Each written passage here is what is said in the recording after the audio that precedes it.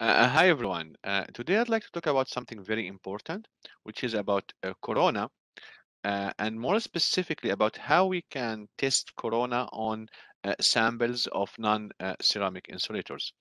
Uh, just to remind ourselves of this diagram that we, we mentioned before, we said that aging in non-ceramic non-ceramic insulators can be caused by electrical discharges or environmental conditions. Okay, so discharges like corona, dry band arcing, and we spoke uh, a little bit about dry band arcing. Also, UV and humidity, uh, also they will uh, influence the aging uh, process by themselves and as a synergistic effect with, with the electrical uh, discharges. Uh, today, I'd like to talk about, as I mentioned, about corona specifically. Now, corona can be caused by uh, two main reasons. The first one is by the insulator hardware. So if there is a defect in the hardware, sharp point, you might see some uh, sort of uh, surface discharge here on the on the surface of the insulator that will lead to uh, to aging.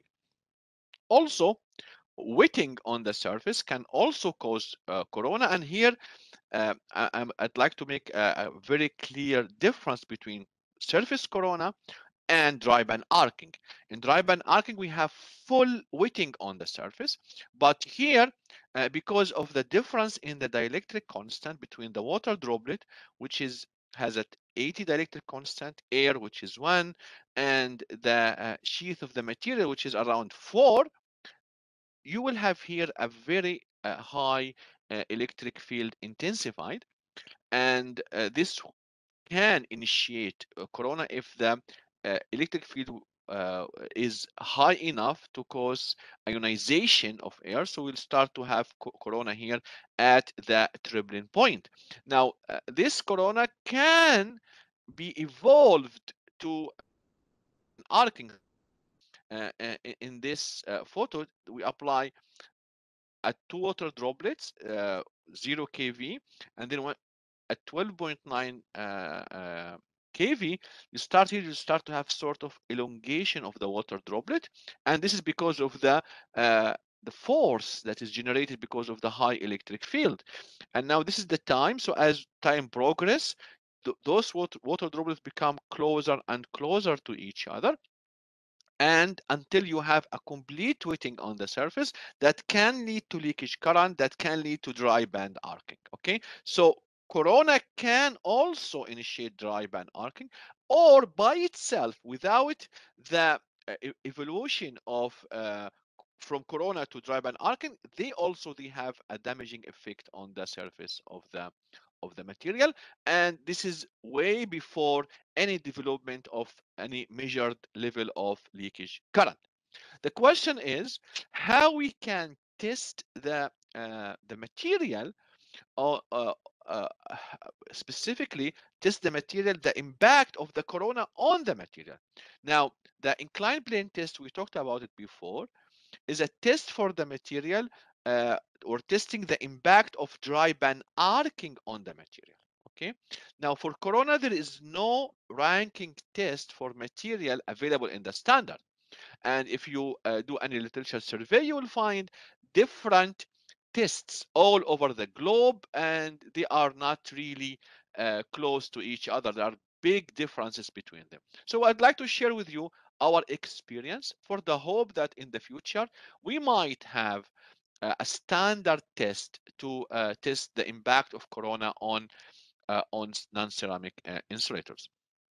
Uh, now, before talking about that, I'd like here to uh, express a very important findings in the literature, which is that the corona effect, along with the environmental conditions like uh, humidity and UV, more specifically these two factors, they can work together to even enhance more the uh, corona, the corona aging on the surface of the of the of the material. So anyone want to test corona? They have also to include the impact of these two, uh, two important factors. So we have this set up at our uh, university, University of Waterloo. We have a uh, sharp electrode, and here is the samples. Okay, now uh, this sharp electrode we energize at 10 kV. Again, there is no standard for that. And we have the uh, distance around five millimeter, no standard for that either. And then we try to, uh, using an ultrasonic humidifier, to have high level of humidity and low uh, level, 80 and 40 uh, percent Of course, we will have here a humidity sensor, and then we will have a, a sort of a controller to control on and off uh, the ultra uh, uh, humidifier so that we can control the level of the of the humidity. Also, we have an UV lamps and these UV lamps will be used also for the for the aging. We'll try with and without UV. So we'll try high and low humidity we'll try with and without UV and combine all these three factors, the electrical stress, the uh, humidity, and the UV, we want to see the impact of this these factors on the surface of uh, non-ceramic insulators and more specifically on silicone rubber. How we evaluate, how we assess the material of, after aging, we will try two different things, static contact angle measurement and scanning electro uh, electron microscopy or SEM. But before going through some of the uh, very, very preliminary results, let's go to the lab and have a look about how the setup uh, looks like in real in real life. Uh, this is the setup. Uh, this is the high voltage transformer, and this high voltage transformer is connected through a bushing towards inside the chamber this is the bushing and this bushing is connected to the high voltage electrode system. So you see the sharp point here and these are the uh, the samples. And then this is the humidifier which has uh, the sensor. This is the sensor of the humidifier. And here is the controller. Come here and uh, you control the required humidity uh, level. And this is the UV lamp that will be used for the UV aging. So this is the overall Corona uh, setup that we have. Welcome back. Uh, here is some of the uh, results about the contact angle measurement. Now the contact angle will tell you the condition of the surface of the non-ceramic insulator, if it is hydrophobic or if it is hydro hydrophilic. Of course, the higher the angle, the better is the material. So this is our reference, the untreated sample. So we have like 99 degree plus minus one. So it is obviously uh, very, very high. We tried aging only with UV, no voltage applied, nothing, just UV. And we did that for uh, 24 hours not much of a change happened on the surface. So UV by itself, it doesn't really harm the, the material. Then once we start to apply the high voltage electrodes, we have humidity with or without UV, then you will start to see a decline, huge decline in the contact angle because the material surface becomes very uh, very hydrophilic. And of course, the highest drop in the contact angle was when we have both the high humidity and the and the UV. And if we look now to the SEM picture, you will see that this is the one that has the highest level of physical damage of the of the material.